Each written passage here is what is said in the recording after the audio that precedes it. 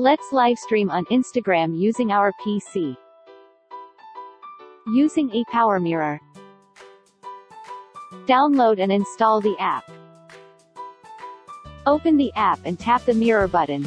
Tap the name of your PC then, click Mirror Phone to PC and start now to begin mirroring.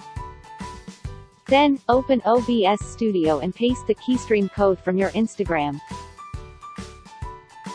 Under the Source tab, click the plus icon and select Window Capture, tap Create New and tap OK.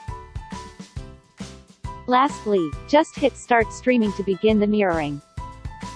Next, using Yellow Duck.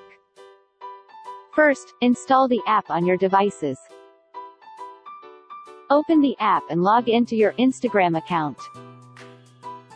Copy the Instagram stream key and paste it on OBS Studio to start streaming. Lastly, using BlueStacks. Visit BlueStacks official website and download the app. Launch the app, go to Google Play Store, and install Instagram. Log into your account. Then, click the plus icon and tap live icon to start streaming. That's how easy live streaming Instagram on PC. Thanks for watching.